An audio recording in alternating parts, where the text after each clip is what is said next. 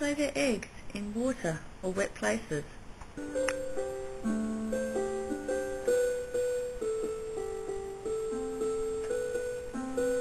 Some eggs will be eaten by creatures living near or in the pond.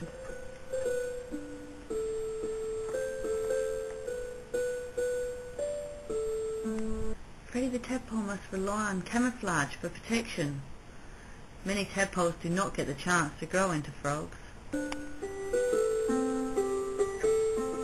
Freddy will then grow legs. Freddy will live mostly on land now. Sometimes the behaviour of humans can kill frogs, even when they don't mean to. Now Freddy will find a mate and the whole process begins again.